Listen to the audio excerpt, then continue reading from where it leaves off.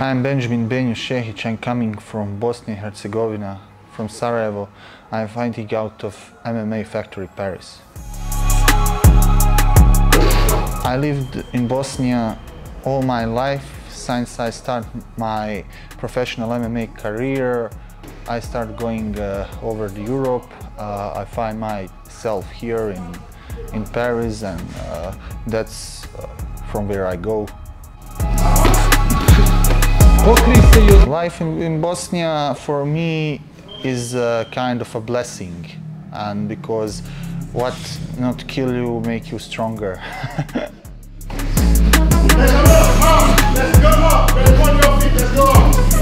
I'm very proud to represent my country, uh, especially to be a Dragon of Bosnia and uh, it's a symbol of our victory, of our pride and honor.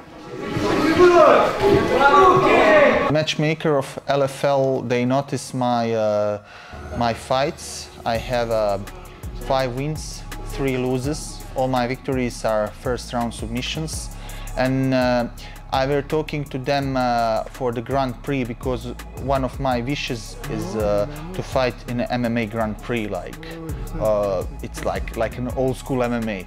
It wasn't possible like to enter that to enter that Grand Prix because of my kilos. Now I'm sharp and ready.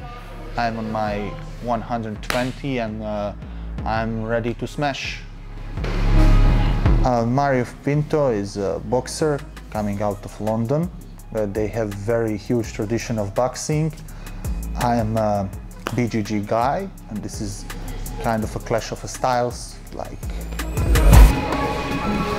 explosive fight. I will take what I deserve. First round submission, it's like kind of my tradition. so see you in Amsterdam.